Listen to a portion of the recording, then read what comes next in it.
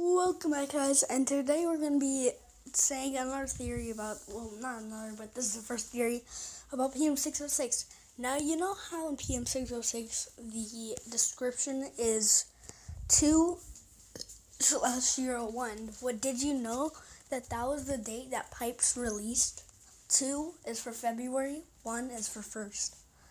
And in this, you can actually see February 1st, 2020.